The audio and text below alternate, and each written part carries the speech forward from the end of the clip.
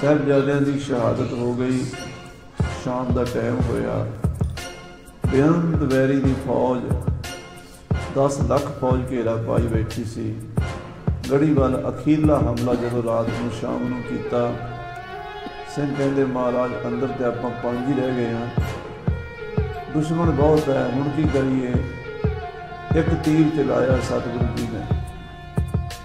ਇੱਕ ਤੀਰ ਦੇ ਨਾਲ 10000 ਫੌਜ ਜਿਹੜੀ ਵੈਰੀ ਦੀ ਆ ਰਹੀ ਸੀ, ਸੁਸਰੀ ਦੀ ਤਰ੍ਹਾਂ ਸਵਾ ਰਹੀ ਸੀ। ਇੱਕੋ ਤੀਰ ਨਾਲ। ਕਿਉਂਕਿ ਸਤਿਗੁਰੂ ਕੋਲ ਸ਼ਬਦ ਵੇਦੀ ਬਾਣ ਬੇਅੰਤ ਕਲਾ ਸੀ, ਸ਼ਕਤੀ ਸੀ। ਸ਼ਸਤਰ ਵਿਦਿਆ ਦੇ ਬਹੁਤ ਵੱਡੇ ਮਾਹਰ ਸਨ।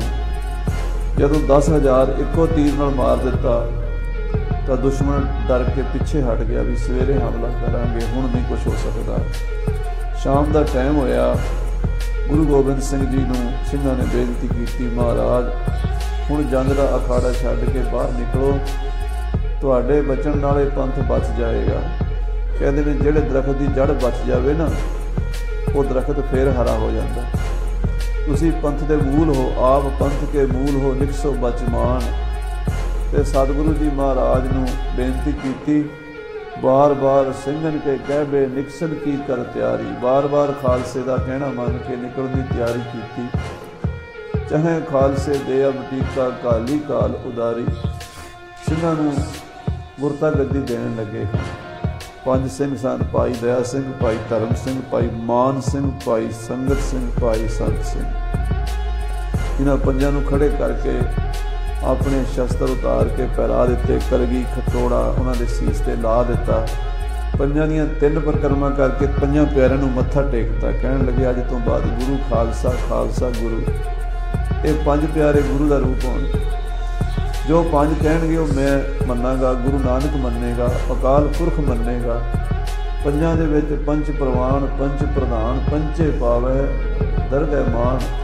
ਪੰਜਾਂ ਵਿੱਚ ਮੇਰਾ ਵਾਸਾ ਹੈ, ਸਿੱਖ ਪੰਚਨ ਮੈਂ ਮੇਰੋ ਵਾਸਾ ਪੰਜ ਪਿਆਰੇ ਨੂੰ ਆਪਣੀ ਸਾਰੀ ਪਾਵਰ, ਸਾਰੀ ਸ਼ਕਤੀ, ਖਾਲਸਾ ਮੇਰੋ ਰੂਪ ਹੈ ਖਾਸ।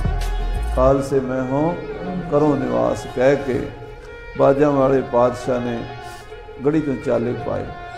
ਕਹਿਣ ਲੱਗੇ, ਤਿੰਨ ਸਿੰਘ ਸਾਡੇ ਨਾਲ ਜਾਣਗੇ, ਭਾਈ ਦਇਆ ਸਿੰਘ, ਭਾਈ ਧਰਮ ਸਿੰਘ, ਭਾਈ ਮਾਨ ਸਿੰਘ। ਸੰਗਤ ਸਿੰਘ ਤੇ ਸੰਤ ਸਿੰਘ ਪਿੱਛੇ ਦੁਸ਼ਮਣ ਨਾਲ ਮੁਕਾਬਲਾ ਕਰਨਗੇ।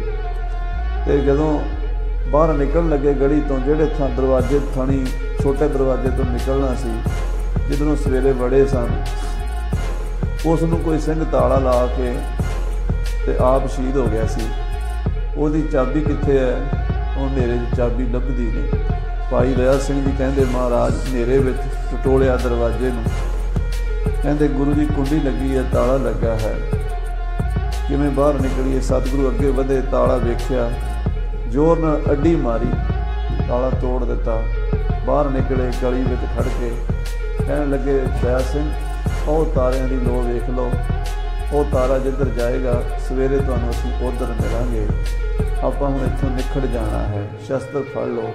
ਕਿਵੇਂ ਕਹਿ ਰਹੇ ਨੇ ਦਸਵੇਂ ਪਾਤਸ਼ਾਹ ਮਹਾਰਾਜ ਗੜੀ ਤੋਂ ਬਾਹਰ ਜਾ ਕੇ।